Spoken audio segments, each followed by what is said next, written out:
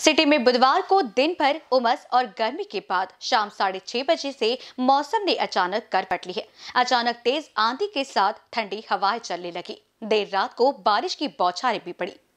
मौसम बदलने के कारण शहर में तेज आंधी चली। शॉर्ट सर्किट न हो, इसके कारण कई जगहों पर बिजली सप्लाई को भी कुछ देर के लिए बाधित किया गया।